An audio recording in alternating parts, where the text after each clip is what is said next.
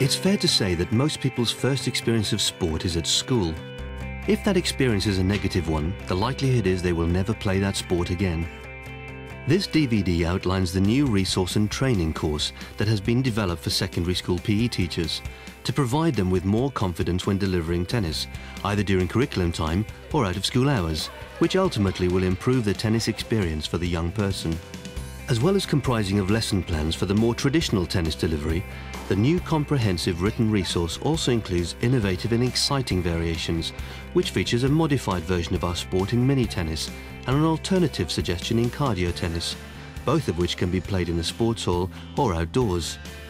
We have also developed for the first time a framework for assessing your pupil's ability in tennis based on the national curriculum attainment levels.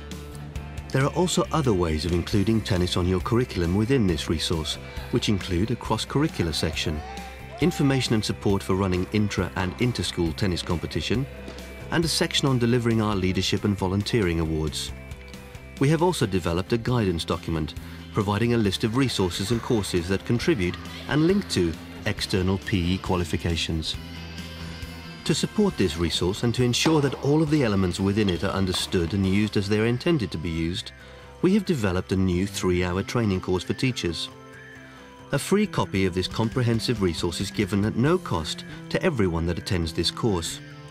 Courses are organised through our network of tennis development managers and are delivered locally by a network of specialist tutors.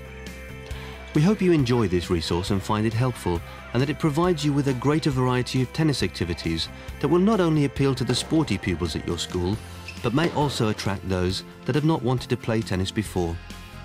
To find your nearest tennis development manager, log on to schoolstennis.org.